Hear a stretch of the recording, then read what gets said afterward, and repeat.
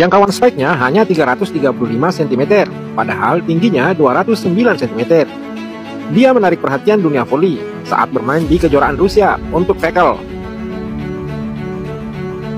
Saat itu, dia adalah pemain paling produktif dengan mencetak 554 poin dalam 28 pertandingan.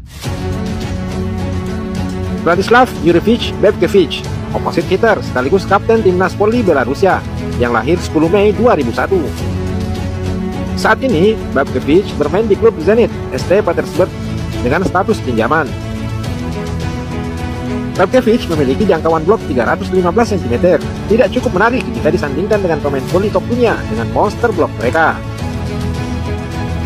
Beberapa penghargaan individu yang pernah diraihnya, di antaranya sebagai terbaik dari empat kejuaraan Belarusia tahun 2020, MVP babak playoff kejuaraan Belarusia 2021, MVP Piala Super Belarus